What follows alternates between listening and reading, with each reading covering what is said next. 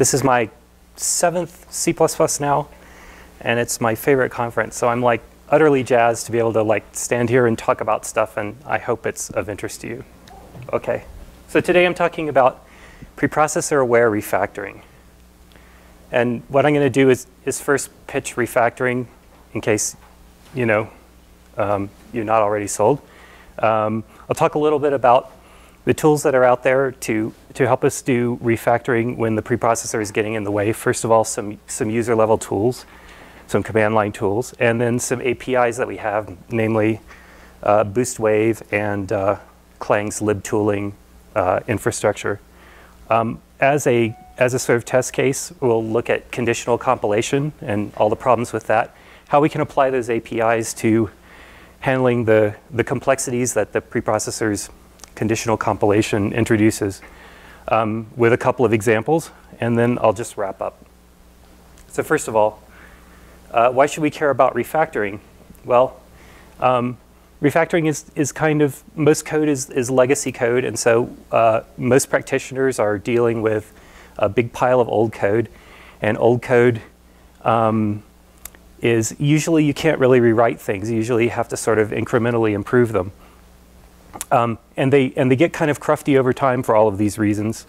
Um, and uh, doing a clean rewrite is very appealing, but it usually means uh, additional risk, and uh, risk means cost.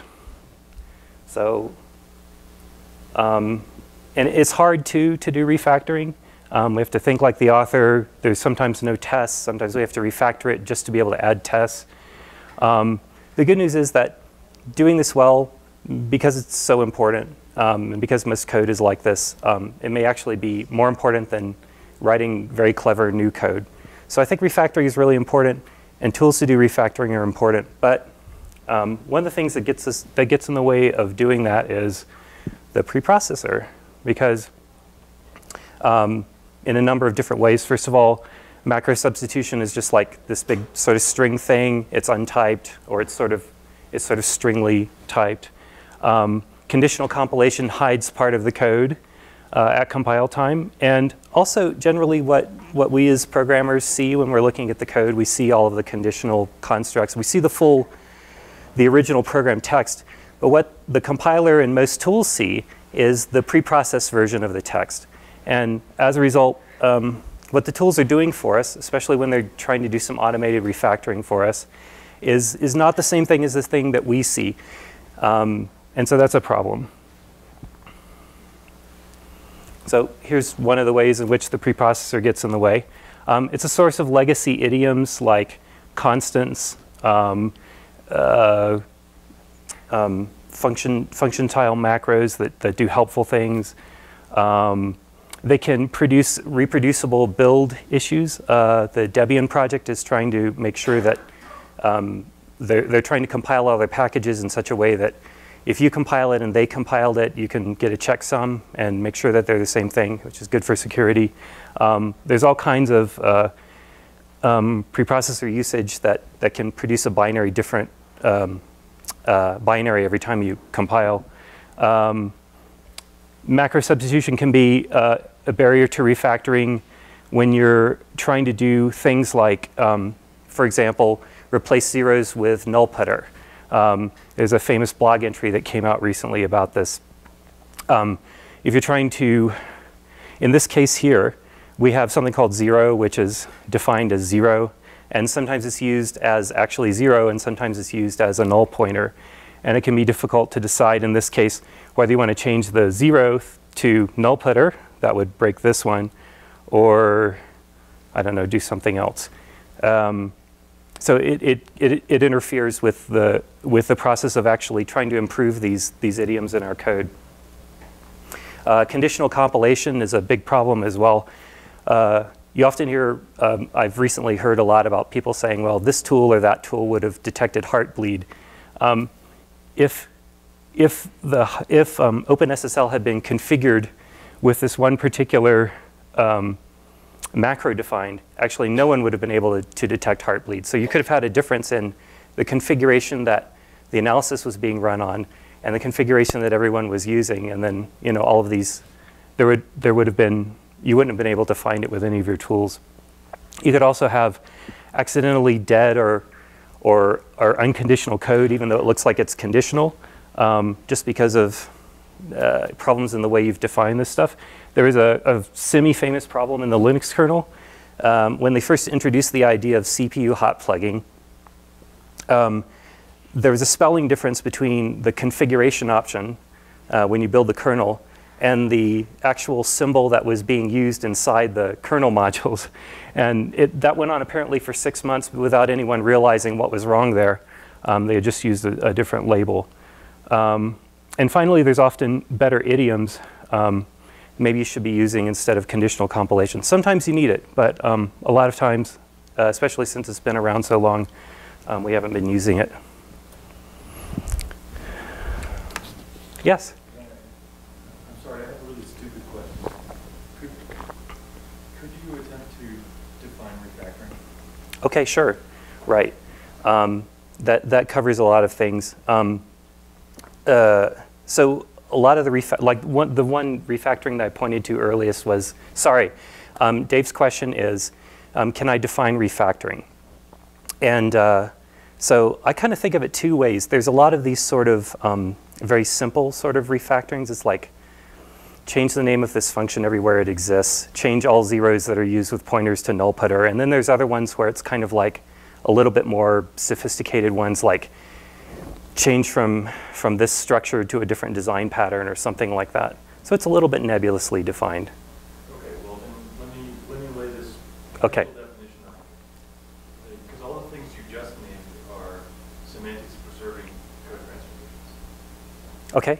And is that what you're talking about here, or are you talking about some, a broader thing than that? I would say that at a, at a higher level, sorry, the question is, um, all the things I've named so far are semantic pr preserving transformations. And then the question is, um, am I talking about something different than that? And I would say that um, I, some of the things I'm talking about might change the structure of the program, but at a higher level, they would have the same semantics.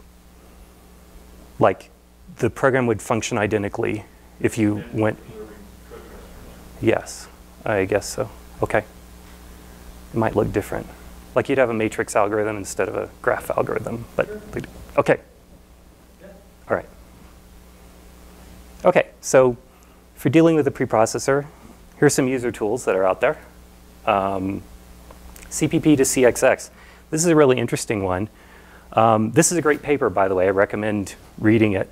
Um, these are all ways of, um, this is all tackling the problem of transforming um, macro usage into something a little bit more modern. So like um, either just straight macro transform uh, expansion, say, of a constant or a um, or the name of a type, um, or something like uh, where there's a function style macro which um, actually results in an expression or something like that.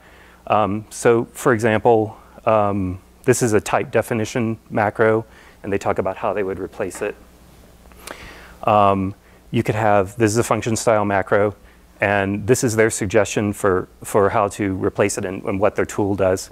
Um, it benefits from things like um, type deduction and other things that the macro didn't have. Um, their tool CPP to CXX is actually actively maintained, and it uses both of the tools that um, I'm going to talk about today. Um, so it's interesting. Um, I would take a look. Uh, Clang has a bunch of tools. Um, the, there's, a, there's a version in Clang Tidy of the first problem that I described with, that Scott Meyers has, and their take is, their approach is to uh, not change the macro definition, but to allow, other than null, to allow users to specify other, um, other macros that they, that they want to perform this substitution on. Uh, there's Clang Modularize. Um, that's really interesting because this is trying to help people trans, but trying to help people move to um, C++ modules. And it checks a lot of things about like uh, macro redefinitions and other stuff like that. It's, it's one of the, the things I found that does the most of kind of simultaneously looking at what's going on in the preprocessor and what's going on in the actual AST and, and with the compiler. Um, other tools. I threw CPP check in here because um, most tools I've seen just kind of punt on the problem of conditional compilation. CPP check actually tries to do something about it. Uh, this, this tool, if you ever run it, uh, if, you, if you have code that's, that's conditional, that's dependent on, on things that defined at compile time, uh, it will actually try to create every combination of them and, uh, and static check each one of those. Usually that uh, results in an explosion of configurations, but it actually tries to do it. It actually sort of thinks about that, which is, which is unusual. Um, there's a tool that's popular in, uh, in Linux land again called unifdef. Um, it's mainly used to strip away the stuff that's um, kernel only to produce uh, user uh, like system call interface files and things like that. But it's, it's analyzing it and it's, and it's doing stuff with it. So let's talk a little bit about APIs.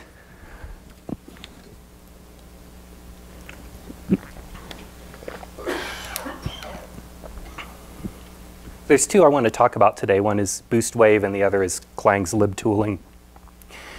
Um, BoostWave has been around for a little while. I think it, it went in to Boost um, about maybe 10 years ago or so. Um, it uses a lot of generic programming techniques like a lot of things in Boost. Um, it kind of decouples the lexer from the preprocessor. Um, it uses things like iterators. You know, you supply whatever iterator type you like and it operates on it.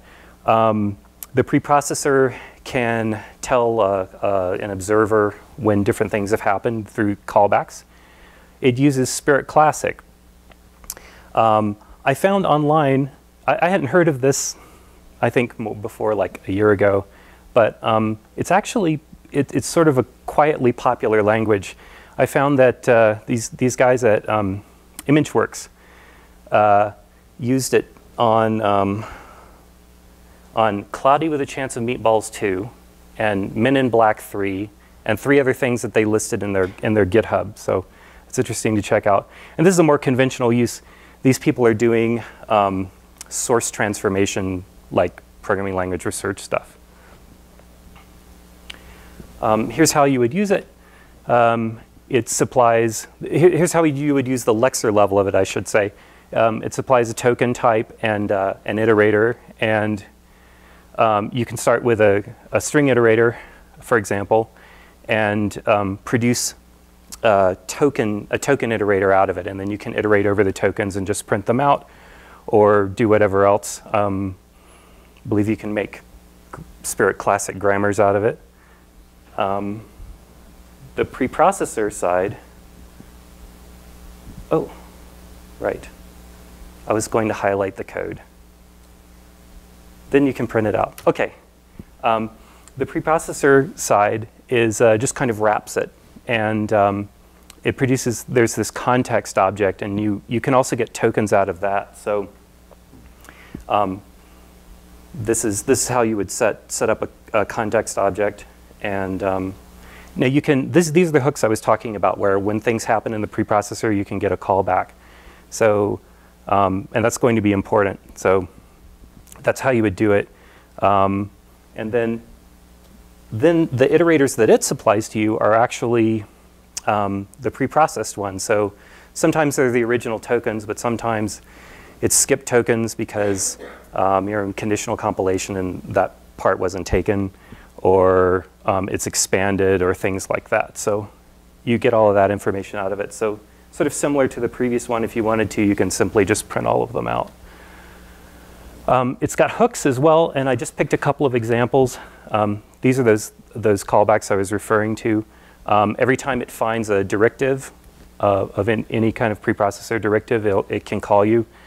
Um, there's one every time you, you have an if or an else if or a if def or something like that. Uh, again, you can, you can get a call back, um, and that's useful for a lot of stuff. Um, so here's how you would use it. Um, now let's talk about libtooling a bit. Any questions about Wave? Comments? No. Okay. Um, this is a, a, really, really powerful um, set of tools. Um, it's pretty different from Wave in that it's like a lot more sort of OO, and all the different parts of it uh, talk to each other very kind of tightly. Um, and um, but uh, the advantage is you get the um, uh, you get access to the to all the AST tools and um, and the ability to to kind of like really get into the language. Um, I'm going to give a very brief overview of them, which I apologize for, but um, there's just so much there. Uh, there was a presentation here two years ago, which was good. And uh, probably a very relatively updated one was about six months ago at the LLVM dev meeting. And uh, it's about 30 minutes. It's a good, a good watch if you want to learn more about it. Uh, so very similar to Boost Wave, there is a callback. Um, class that you can um, derive from and, and, put your own stuff in. Uh, it uses, the, the information it gives you is a bit different. Like every time you get, it doesn't say just there, I saw a directive, but it'll say I saw this particular kind. Um, and it'll also, it also thinks not in terms of tokens, but in terms of like uh, character source locations, which are basically character level ranges inside the source code um, which is sometimes good and sometimes bad. I found it harder to write a parser, for example, on top of, uh, on top of a, a, character stream than I did on, on top of uh, a stream of tokens. So um, here's an example. It looks pretty similar, uh, except as I said, they instead of saying I saw a directive, it says I have saw I saw an if directive specifically, um, and gives you that in that in the sort of character offset information. Uh, one thing I really love about this, though, is you see this here? So when you get the endif directive, when that happens, it actually tells you what the associated if was, which unfortunately Wave doesn't do. And so there were things, uh, when I did Wave, I had to sort of sit there and count and like figure out where I was in the, in the nesting. Um, but this will give you that directly, and then you can just use it. Um, so the, the kind of the main API uh, offered to users is the refactoring tool. Um, you have matchers, which are, are uh, which find bits of the AST that are of interest to you. Um, you get a callback every time your matcher matches. Um, and you can output replacements, which then you can use to, to make edits to the source files. So it gives you hooks to gain control at the start of parsing every file and performing actions. And I use that to install preprocessor callbacks. Um, so matchers. Matchers help you find things in the AST. They're like a configurable, I'm probably using the wrong term here when I say visitor, but um, uh, you can mark nodes of interest for processing by callbacks. So your matcher says, I'm looking for this kind of structure, and when you see this one, mark it, bind it with this string. And you can ask about it later. There's three kinds of matchers. Um, nodes, there's all kinds of specific nodes in the AST corresponding to different structures in the code. Um, there is a narrowing matcher which says, like it has to have some characteristic, like the associated name has to be something or look like something or whatever. And finally, there's a traversal matcher, which is for things like, uh, in the AST, I've reached a, a call site, and I'm looking at an argument, and I want to know what the associated parameter of the thing being called is. You know, and it can take you there, and then you can do constraints on that side. There's this tool called Clang Query, which when you're trying to figure out how to write matchers, you can bring up ClangQuery, um, and, and, it's just an interactive command line tool. Uh, finally, you can write custom matchers, which I had to do. Uh, so here's an example of a matcher for a move constructor. Um, you take your finder object, which is the thing you supply to refactoring tool, um, and, and this is, here we are adding it. Um, this, is, this is a node matcher. This looks for a constructor declaration. Um, there's a narrowing matcher right after it, um, which, which checks and makes sure that it's a move constructor and not some other kind of constructor. And then finally, I use this, this ability to mark um, by using the bind. Um, and then that can be used by this move constructor handler thing. And here's a handler example. Dave. So presumably the AST that you get is, corresponds to one particular way of evaluating the preprocessor uh, uh, directives, right? The question was, is, is the, the AST I get corresponds to one path through the, con, to, through the conditionals? Yes. So, um, so how do you deal with that? Yep, that's the problem I'm trying to solve. So Okay. I'll, get to it in a second. um, but yeah, that's, that's exactly the question that, I, that launched me on this. Yeah, sorry. I mean, I guess it's not just conditionals because you have, you have function style macros that can generate all kinds of code. And you can conditionally include things. Sorry.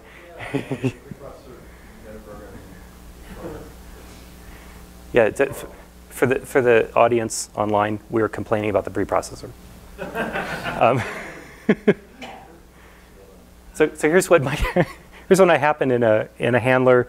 Um, this get um, like a get as sort of thing, and you can um, take the you can look for that string that you bound earlier, and then you get back an AST node.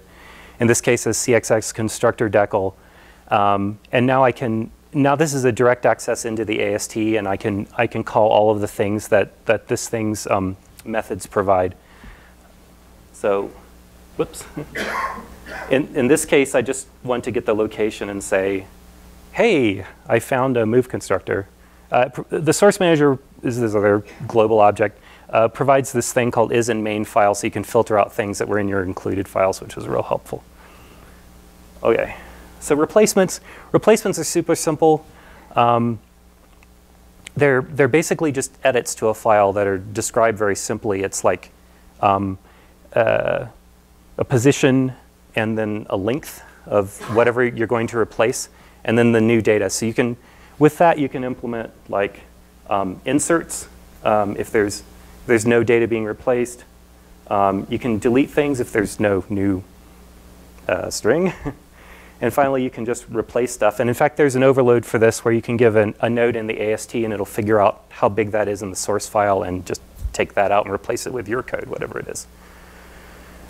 So this is kind of awesome. Um, and this is just what it would look like when you build that tool. Uh, you define your refactoring tool. This is for option parsing. Um, this just allows you to run your tool kind of like it was a compiler. Um, so you can add defines on the command line. Um, and th this is how it goes. So yeah. Okay, so that's making tools with libtooling. All right, so what can we do with conditional compilation? Um, I've got a couple of examples that I wanted to try applying um, some of these APIs to.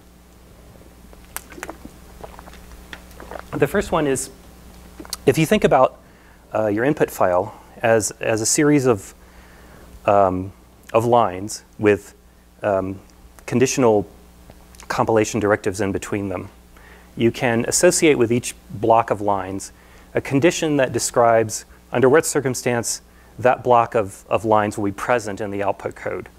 Um, so I propose that we should try to figure, try to make a, a way to parse a file and produce this data structure. The second thing I was thinking is that we could take at least simple if-def things and turn them into like policy classes. Again, I may not be using the right term, but uh, change that, take that difference in behavior and factor it out so that um, you sort of configure your class with, with a, like a policy class, and then you just call the static methods from there or use the types from there. Um, and the, the user code is, is, uh, doesn't have any more conditionals. Okay, so, sorry to interrupt, but. No problem. So that first bullet sounds like a technique for achieving something like the second one. I, Uh, I can't tell whether, So, I, in, so for, for me and, and the way I wrote it, they're somewhat different because, let's see. okay, I mean, I don't know if you can solve the second one unless you can understand. the first one. Okay. Um, the, the question was um, these two seem like the same thing. Um, and the first one, you need the answer to the first to solve the second. Uh, let me think about that. I didn't use the answer to the first to solve the second, um, but let me see. Uh, I'm trying. I'm trying to do a much simpler thing in the second one, but I'm trying to actually rewrite the code. In the first one, I'm trying to just get information. Uh, it may be that I could connect these two. I haven't thought about it. Okay.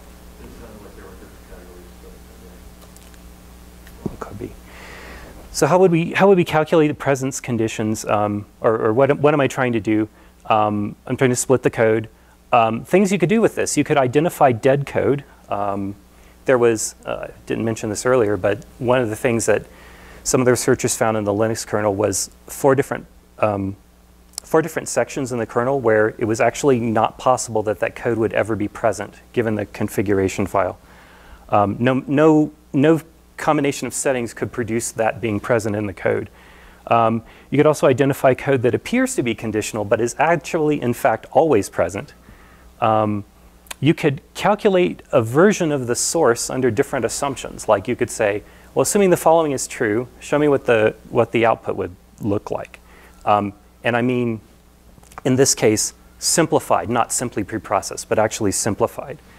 Um, and finally, you could enumerate all possible texts. If you look at something like CPP check, it has to say, well, uh, everything I test for defined on could either be defined or undefined. And the product of all of these things is the total number of things I have to consider.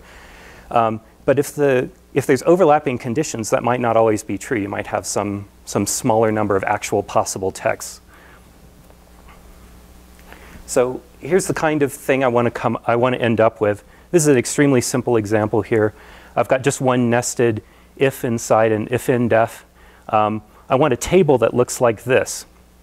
Um, the, the condition under which the, the text is present and then the actual text that was there.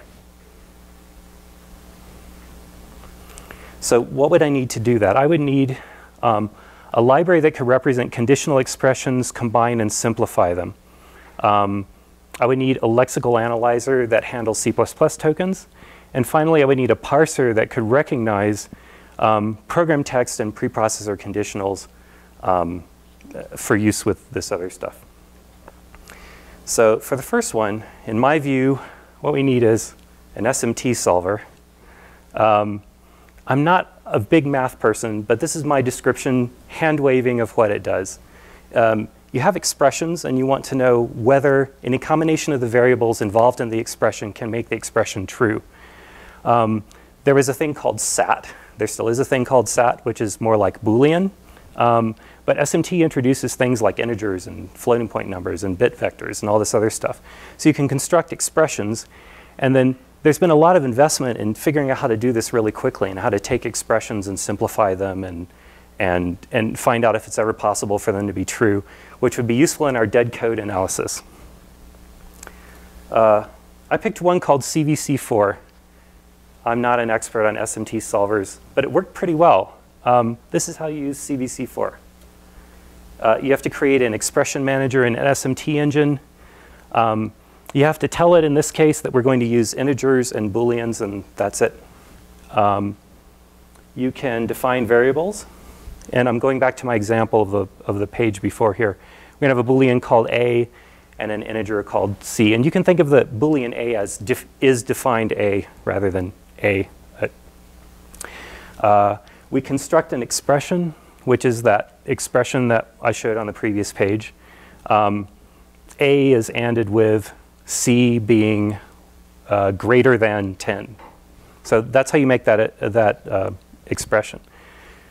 Um, and finally, let's see, if you want to simplify that expression, um, you can assume that something is true and say, well, what will happen to this, to this expression I had, assuming that this other thing is true? For example, somebody says on the command line they define something. You can say, well, what happens to all of these expressions? Um, in this case, I assumed that C was 20. And so, whoops.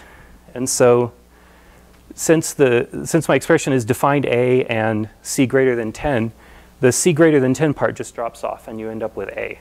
So that's the power of these kind of engines. Um, the second thing I needed was a lexer. So we actually have boost wave. Um, I haven't written a Spirit Classic grammar and I decided that what I would do is uh, adapt the boost wave lexer to work with Spirit v2 so then I could write a Spirit v2 parser. So, and I, I don't think in, anyone will benefit from seeing that code. Uh, so the way we have to operate is we've got all these nested ifs and ifdefs and all that stuff that can go down a really long way. And then at the end of it, you've got the, you've got the leaf node there, and it's got some lines of text, and there's a condition. And you want to know what is the condition under which this leaf node of block of text is going to be present. And it's going to be like the and of a lot of things all the way up, right, to the, to the top level. And furthermore, if you have something like if, else if, else if, it's, it also has to sort of have, you have to and in all of the, and not the other condition, and not the other condition, all that kind of stuff. And actually, I thought that spirit rules were a nice fit, as it turns out, for this task.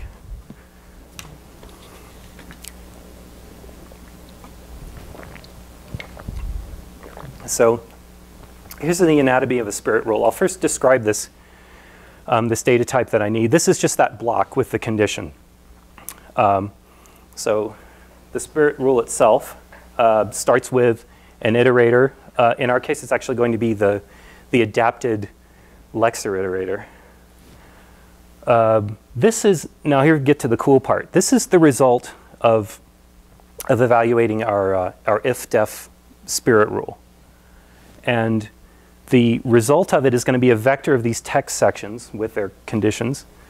And it's going to take in the, the expression representing whatever the parent of it was. Um, and then in, inside it can take that and and it and everything as needed. We have a white space. Um, finally, we've got to do, because of that whole business of like um, else if and all that kind of stuff, we need, in the case of ifdef, we needed one local variable in order to sort of say and not the other condition. So that's it. It all just kind of fits. And, and if I write a grammar, um, the grammar produces its result recursively and so I can cause it to create at the top level this thing I needed, this vector of, this vector of, of text blocks with their conditions. Uh, so I did that. Did I? Yeah. I looked at the grammar and I thought about putting it on a slide, but mm, sorry. I'll actually demo this, so hopefully that will make up for it. Um, so this is putting it all together. Um, I run the parser that I've created, uh, the grammar that I've created uh, over, the, over the tokens supplied by Boost.Wave and adapted. And finally, we use our SMT engine uh, to check and see if the condition was satisfiable. And this is going to be my dead code analyzer. Uh, if, the, if the condition is not satisfiable associated with a particular text block, then there's no circumstances under which that could be present in the output, and therefore it's dead code. And just to make it more readable, I call simplify on it, and that'll tend to make it a little bit more readable. It must be time for the demo. I've never done a demo before. I hope this works. Okay, so here's my, oh my goodness, look at all of that. Why, where is my, where's the part where I call cat? Thank you. There we go. I'm in the wrong directory. See, this is already, I knew I shouldn't have done a demo. Okay, so this is my, um, this is my test program, extremely simple. Uh, we've got a couple of nested things. Um, the most interesting bit is probably here where um, I have like a slightly more complicated expression uh, if foo's not defined. Now foo's always defined actually because it's in here. So I'm trying to model like, oh, I messed something up, right? So, but um, this, this will never be true. Um, and so the real question is, uh, there's some circumstance this will be uh, dead code, and, and, in other circumstances it won't. So let me look for D, E, whoops, sorry. there we go. Okay, so let's, let's imagine that, um, so I'm gonna run my analyzer. It says I don't have any dead code. Um, so let's look and see if I supply an expression not shown in the code, but I, I, also assume, if you supply another expression, I assume it's true and then run the analysis again. Oh yay, it worked. In this case, and this is the, the SMT engine's idea of, of what my expression is, not foo defined or bar greater than equal 11. Um, but so it, it, did find that if I assume that, uh, that, that bar is less than 10, then not only is this one false, but this one is also false. So, um, and, then, and then we have dead code. So that's just the simplest thing you could do. Uh, now that I have this data, um, I think you could do a lot more with it. But that's just what I thought I would do for a demo. All right. Did everyone buy that? Okay. All right. Um, the last idea I want to talk about is using the API to do refactoring into policy classes. Um, so that would be something like this. Um, when you have usage where it's uh, maybe you wanted to use um, a string from Qt, uh, you didn't want to use std string, or maybe you did or didn't, but you wanted it to be sort of conditionally compiled this way. Um, and you've got this stuff sprinkled everywhere. Use QString constantly everywhere. Um, the goal is you want to say, you know what, uh, everything associated with strings I want to be supplied as a template parameter, and I'm just going to access stuff from this, this class that's passed in. Um, things like static functions, types, all that kind of stuff, so that, so that my new code can, can be a lot cleaner.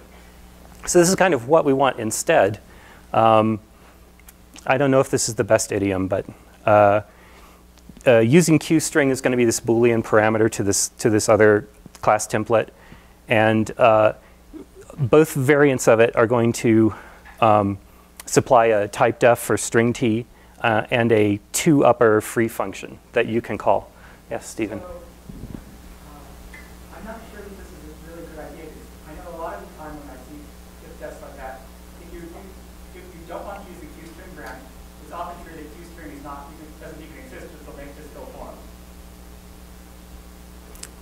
Stephen's comment is that if you, um, this will be ill-formed if QString doesn't exist at all. Uh, yeah, because then it won't compile. So maybe many times when people are using ifdef, they, uh, they actually don't have Qt at all or something like that. That's, that's, a, valid, that's a valid criticism.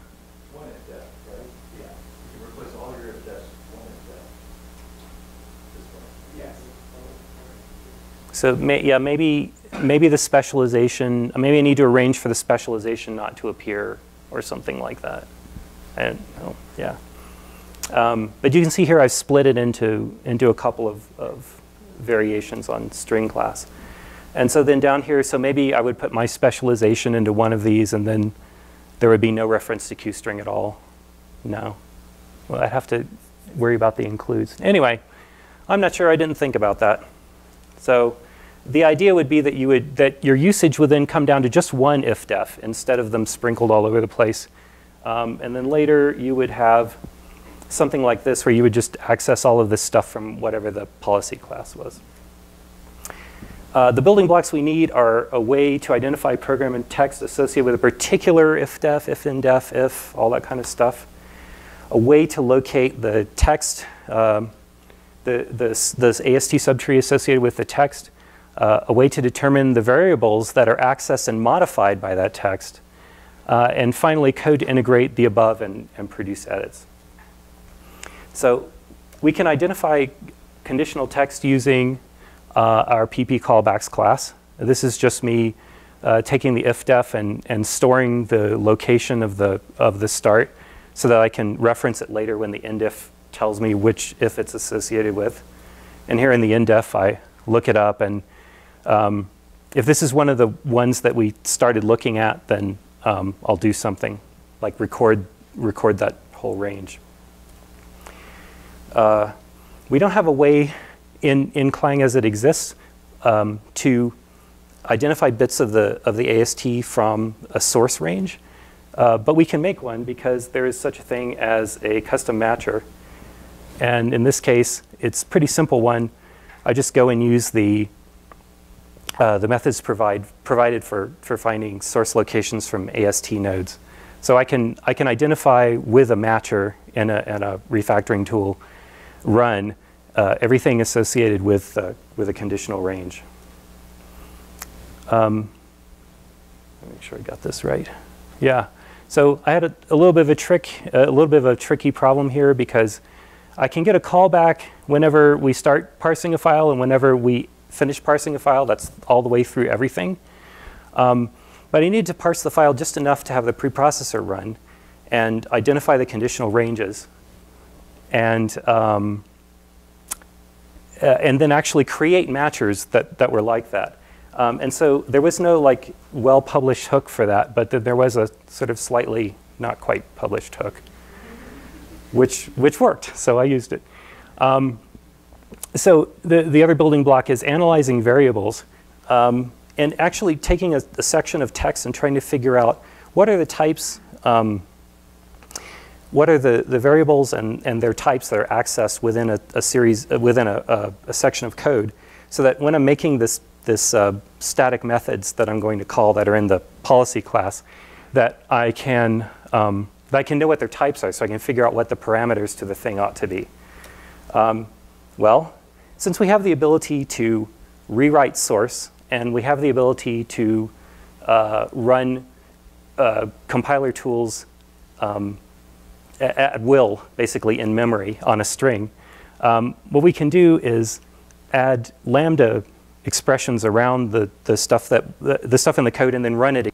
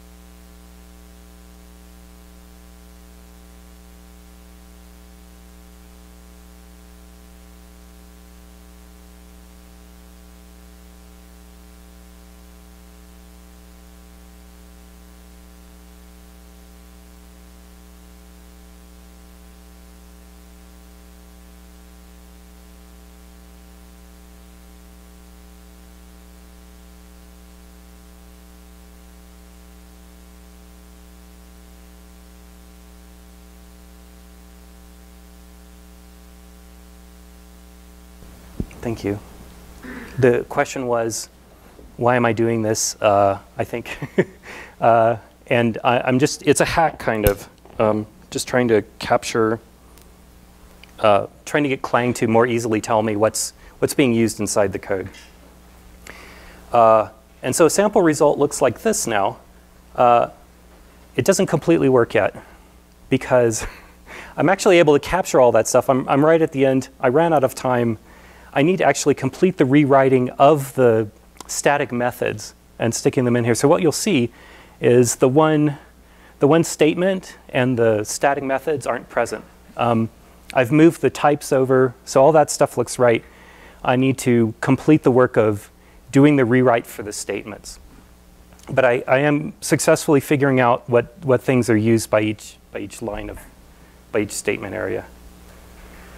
Uh, and if you'd like to watch me finish that, it turns out there's this thing called an octothorpe, uh, which I'd never heard of, but that's the, uh, it's the hash symbol, like in the preprocessor. So if you were in Michael's presentation, you know the value of having a good name for your repo. So uh, I thought it was kind of good. So Jeff Trull, octothorpe. Uh, conclusions, the processor is a necessary evil. It's often misused or unnecessary, but we can remove, we can write tools that can remove some usage. We can also write we can also write tools that are more aware of it so that the, the fixes, refactoring tools, and static analysis tools and all that kind of stuff make are more aware of the actual code that us programmers are looking at and dealing with every day. And there's some resources. That's it. So, thank you.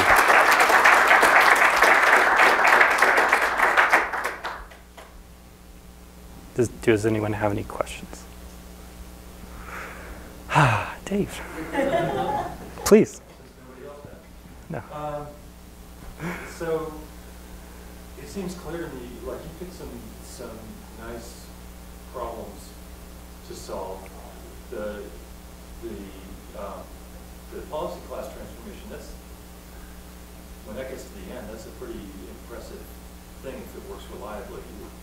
And- If, yeah. And that's, that's one thing I, I can't tell, I can't quite tell about, especially because I, it's easy for me to imagine things with the preprocessor that there's just no obvious way to refactor in, a- in a useful way. Like, a lot of preprocessor metaprogramming stuff, you could refactor it, but you have to mm-hmm. refactor the result of preprocessing it, and then you, then, you know, you lose the, the reconfigurability, right?